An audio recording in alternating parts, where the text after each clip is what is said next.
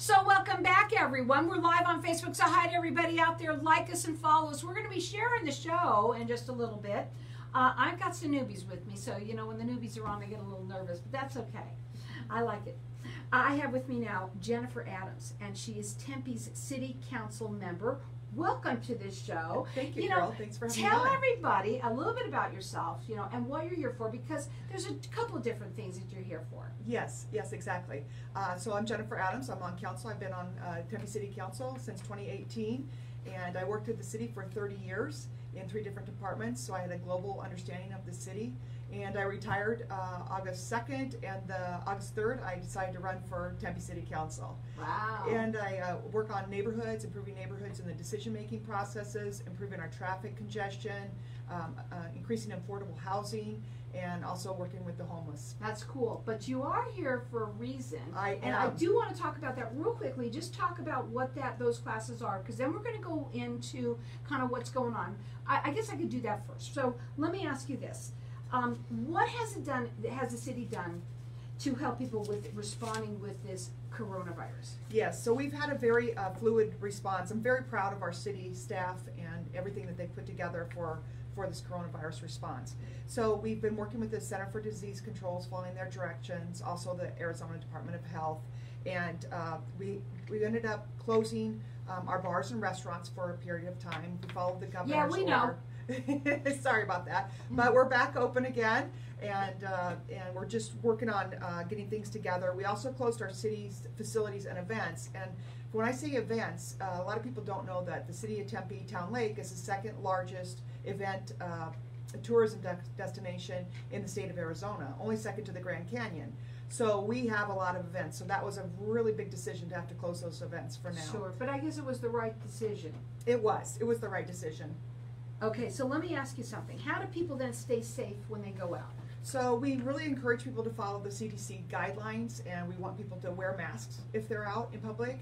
Uh, we are really encouraging that. Of course, six foot distance between um, one another. We are right now. That's right, we are. And uh, washing their their hands for uh, 20 seconds um, anytime they are out, and uh, just staying. That social distance is the most important thing Right. that you can do. And being uh, a little bit proactive with everything that you're doing and thinking about things uh, before you just go out and do something. I want to talk about the classes because you have this thing called Tempe at Home and why it's so important. Tell everybody what that is. So Tempe at Home are, first of all, it's produced by the Community Services Department, which is a great department in the city. I spent 14 years there as an employee, so I'm a little bit biased towards community services.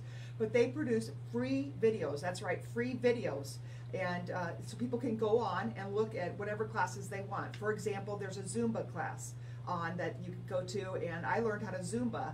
And she goes nice and slow, which is what I Thank needed. you. So Yeah. it was so Zumba's really a fun class. We have over 50 classes that are on. Um, So were they going to go to that uh, website that we mentioned before? Yes. Okay, because I want people to write this down. These are free classes. Yes. Now they're done. Are they done by through Zoom? yes, they're done through Zoom. Yes. So they do them right in their own home. yes. And yes. what are some of the classes? uh, so some of the classes are, uh, for example, paddleboarding at Tempe Town Lake. So you get to see Tempe Town Lake and learn how to get up on a paddleboard, which I was doing that all wrong all these years. So I learned how to do that. I wouldn't want to do that the next one?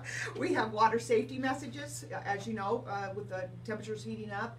Uh, more little ones want to go towards the water, so we have water safety messages. We have uh, um, sidewalk painting classes. Oh, fun. Yes, as I've gone around the neighborhoods, I've seen a lot of sidewalks painted. I have Uh, too. That's yes. awesome. I bet you they're learning from there. Now go up on that website, which is tempegov.coronavirus. Yes, and then you can go to that that um, web webpage and then drop down to the Tempe at Home. You'll see that, and then you can just go on the classes right there. And they're free. And so they're free. You cannot say that you're bored. You cannot say that you can't there's nothing to do. Because there's always something to do. You could go right up on that website. It's tempegov.coronavirus and it's a free class and it's done by by Zoom. So there are little videos right there and there's tons of them. And you know what? She'd love to talk to you if you'd like to. Her number is 480 350 8835. Okay, let me ask you this. when as people are waiting and they're just sitting here and they're they're loving the classes, they're having a good time with it. But when is it going to open up? When do you think Tempe's going to open up? So we already have started to reopen. Uh, May 13th, the mayor did a proclamation and he opened up the skate parks, the tennis courts, disc golf, and pickleball courts. So we already have, that was uh, last week, last Wednesday, so we've already moved in that direction. Also, our golf courses, our public golf courses have remained open the entire time. So Ken McDonald and Rolling Hills have remained open, and they've been Nice. super busy. Sure. So well, they because love people, that. people love to play golf. exactly, They're not going to stop for that, you know. Nothing's Exactly. going to stop them. just to get outside and that's right, so absolutely. so a lot of golfers have uh, said their games have improved so that's that's good news Uh-huh. and also then uh, we're looking at june 15th to open up our city facilities and dog parks and other amenities for our residents Oh, that's so good for to hear. That's Yes. People want to hear that. I'm so glad you're here today for this.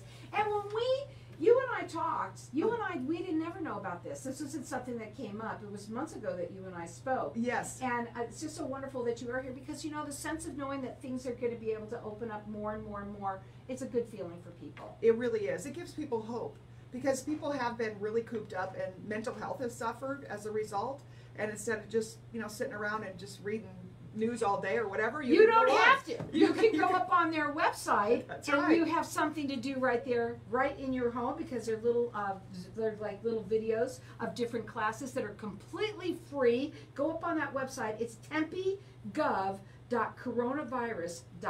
That's correct. Okay, so you want to go up there. Uh, they're co- free classes. You can also call her if you want to talk. It's 480-350-8835. So again, you have no you have no excuses anymore.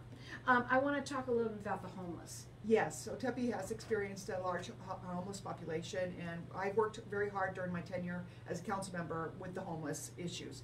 And so we've partnered with East Valley Cities to provide more beds. In fact, we've um, increased 18 beds, which might not sound, sound like a lot, but really it is because it's so difficult to get them. And we also uh, have partnered with the Salvation Army, and they've increased their hours of operation so people can go there and stay cool. And Tempe Community Action Agency has done a lot to reach out to the homeless, as long as as well as our Hope Team.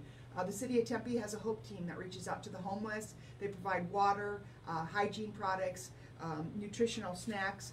And I'm very excited to also um, talk about the shower program. Every Friday now, the homeless can have a shower at McClintock Pool and get their showers and get cleaned up. And that's been something that I've been working on for a long time. So I I'm very excited wonderful. about that. Now on the website, can they see some of the different things that you're talking about there too? Maybe somebody wants to help in any way. Can Yes, yes, and I can go to tempe.gov slash ending homelessness to help uh, with their homeless uh, It would be wonderful if you could do that. Um, also, I wanted to talk about the businesses because you know us businesses, they got the small, especially the small ones, they got hurt pretty bad. Exactly, and I'm a huge uh, supporter of businesses. I was endorsed by the Chamber of Commerce for a reason. I just, uh, just, I mean, the businesses are our heart and soul of our neighborhoods, along with our neighborhoods. So Mhm. we need to have those small businesses. And so we have a really exciting program called um, the Hownd Program. That's H O W N D, and it's a voucher program where you buy now from the local businesses, and then you you visit them later. So it gets them cash. Oh, what and a great idea! it, it is. So it gets them cash to, you know, bridge the gap. And we also um, are trying to drive up the sales, of course, of businesses. And the city actually paid twenty-five thousand dollars to um, fund the Hownd program, so businesses don't have to pay for it. And we've already generated one point five million dollars, Carol, Aw, uh, that's awesome. for for helping our businesses. So we're really excited about well, it. thank you for that. And the second thing we did for our businesses is uh, Tempe Small Business Loan Program, and we partnered with Desert Financial Credit Union. And so what we have is very low interest rates that they can get up to twenty thousand dollars if they have employees of fifty or less, and that also will help them um, stay afloat while we're in this time of change. Go up on the website. It's Tempe, uh, dot, you know, it's tempegov dot coronavirus.com. Also, you can call her. She'd love to talk to you if you're a business in need of help. I'm sure she would love to help you with that. oh, 480-350-8835. The classes are wonderful. They're free, and you can do them right at home because they're just a little video right on Zoom. Go to tempegov.coronavirus.com.